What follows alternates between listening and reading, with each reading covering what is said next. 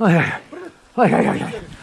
Mart ayında bu kadar karı beklemiyorduk. Biz bahar mevsimi bekliyorduk.